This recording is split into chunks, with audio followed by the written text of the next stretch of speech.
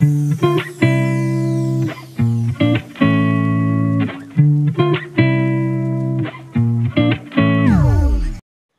வலைக்கம் viewers welcome back to yummy farm இன்றைக்கி நம்மளோட சேனலில் நல்ல soft and சீஸியான Domino style cheesy garlic bread recipe தான். இன்றைக்கி நான் உங்கள் கூட ஷேர் பண்ணிக்க போகிறேன் இப்போ வாங்க இந்த டேஸ்டியான ரெசிபி எப்படி பண்ணலான்னு பார்த்துடலாம்.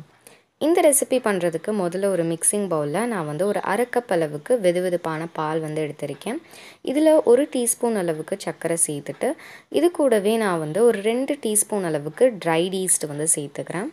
இன்ஸ்டன்ட் ஈஸ்ட்னால் நீங்கள் ட்ரை இன்க்ரீடியன்ஸோடவே சேர்த்துக்கலாம். நான் வந்து இந்த ப்ராண்ட் தான் வந்து யூஸ் பண்ணுறேன் இன் ட்ரை ஈஸ்ட்னால் நான் வந்து வெட் இன்க்ரீடியன்ஸோட சேர்த்து நம்ம இதை வந்து வைக்கணும்.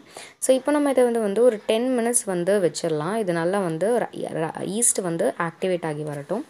இப்போ பார்த்திங்கன்னா உங்களுக்கு தெரியும் ஈஸ்ட் நல்லாவே வந்து ஆக்டிவேட் ஆகிடுச்சு இப்போ நம்ம இதில் ஒரு ஒன்றரை கப் அளவுக்கு நான் வந்து மைதா மாவு வந்து சேர்த்துக்கிறேன். சேர்த்துட்டு இது கூடவே வந்து ஒரு ஒரு டீஸ்பூன் அளவுக்கு சில்லி ஃப்ளேக்ஸ். இது வந்து காஞ்ச மிளகாயை வந்து நல்லா வந்து மிக்ஸி ஜாரில் போட்டு வந்து லைட்டாக வந்து பவுடர் பண்ணிங்கன்னா இந்த மாதிரி உங்களுக்கு வந்து கிடைக்கும். இது கூடவே ஒரு அஞ்சு பல் பூண்டை நல்லா குட்டி குட்டியாக நறுக்கி எடுத்துருக்கேன் இப்போ நம்ம இது எல்லாத்தையும் சேர்த்துட்டு நல்லா வந்து மிக்ஸ் பண்ணிடலாம். இதுக்கு வந்து தண்ணி தேவைப்படாது. அப்படி தேவைப்பட்டுச்சுன்னா நீங்கள் வந்து கொஞ்சமாக ஒரு ரெண்டு டேபிள் ஸ்பூன் அளவுக்கு தண்ணி சேர்த்துட்டு நல்லா ஒரு சாஃப்டான ஒரு மாவு பதத்துக்கு நம்ம அதை வந்து பிசைஞ்சு எடுத்துடலாம்.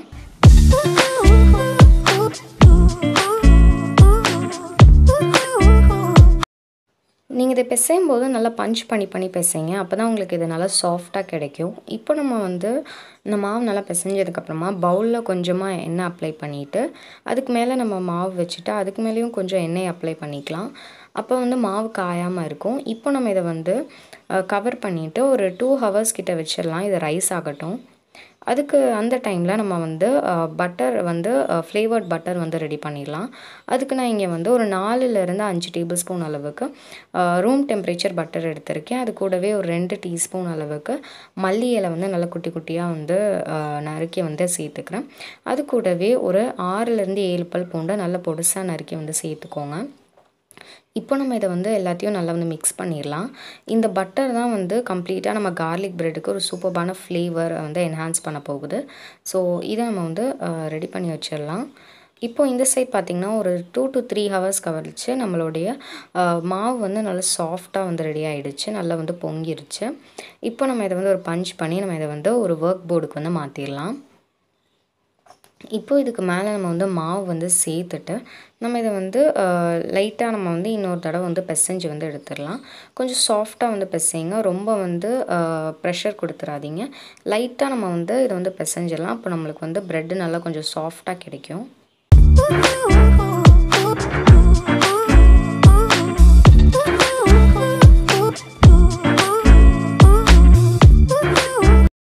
இப்போ நம்ம இதை வந்து தேய்ச்சிடலாம். நம்ம இதை வந்து ரொம்ப வந்து தின்னாக வந்து தேய்க்கணும்னு சொல்லிட்டு அவசியம் இல்லை. கொஞ்சம் நல்லா திக்காகவே வந்து ஃப்ளாட்டாக நல்லா கொஞ்சம் திக்காகவே வந்து ரோல் பண்ணி வந்து எடுத்துக்கோங்க.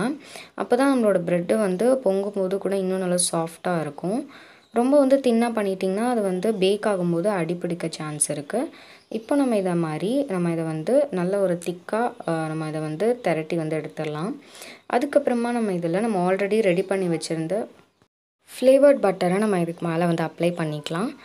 நம்ம வந்து பட்டரை வந்து ஒரு நாலு டீஸ்பூன் அளவுக்கு நான் வந்து அப்ளை பண்ணிக்க போகிறேன் இது நீங்கள் வந்து நல்லா வந்து கார்னர்ஸில் வந்து அப்ளை பண்ண வேணாம். ஏன்னா நம்ம வந்து இது நம்ம வந்து மடிக்க போகிறோம் ஸோ அதனால் நான் சென்டரில் மட்டும் நம்மளுக்கு வந்து எவ்வளோ வந்து ஃப்ளேவர்ட் பட்டர் வந்து வேணுமோ நல்லா வந்து ஸ்ப்ரெட் பண்ணி அப்ளை பண்ணிக்கோங்க.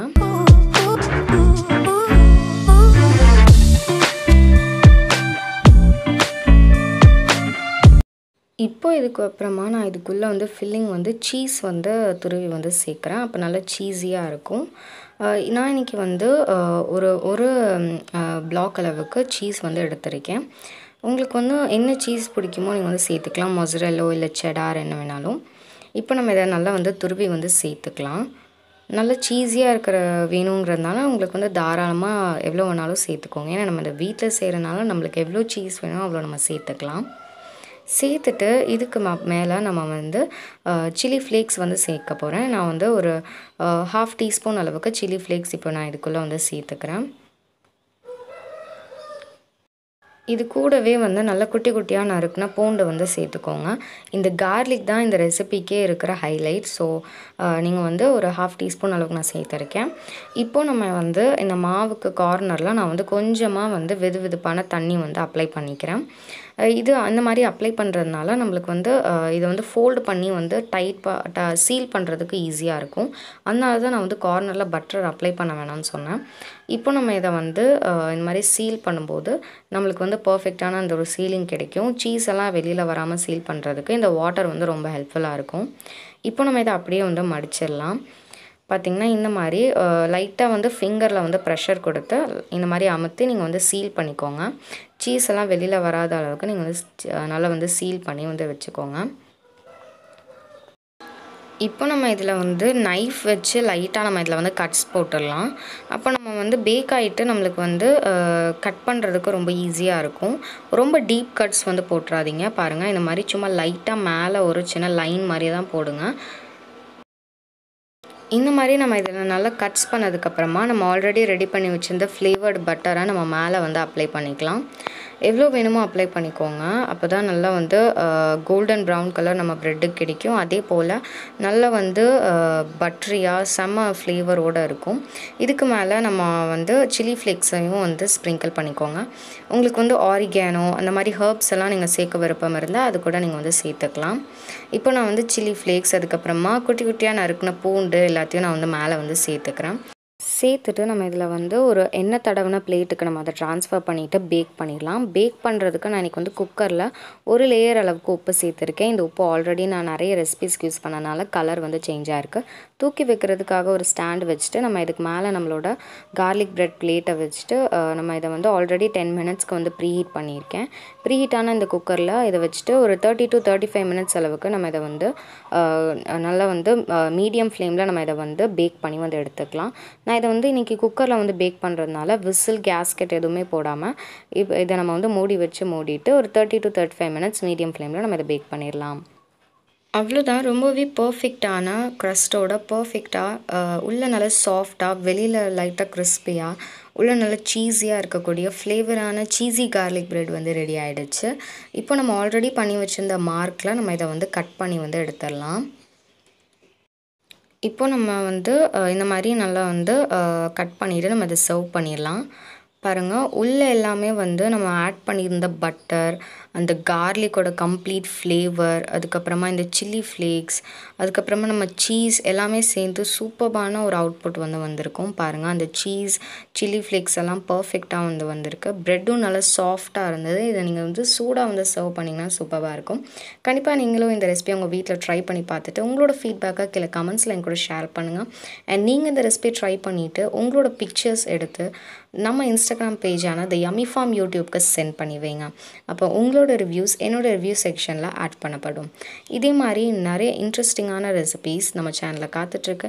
அண்ட் இந்த வீடியோ ஏதாவது ஒரு வகையில் உங்களுக்கு யூஸ்ஃபுல்லாக இருக்கும்னு சொல்லிட்டு நம்புகிறேன் இருந்துச்சு அப்படின்னா நம்ம சேனலை சப்ஸ்கிரைப் பண்ணிவிட்டு பக்கத்தில் இருக்க பெல் பட்டனையும் மத்தி ஆலுங்கிற ஆப்ஷனை செலக்ட் பண்ணிக்கோங்க.